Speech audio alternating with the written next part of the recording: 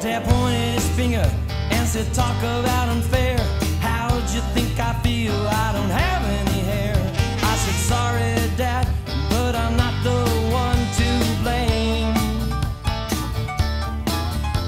He smiled and said, Yeah, that may be true. But before you know it, son, you may just be bald too. In the meantime, get yourself.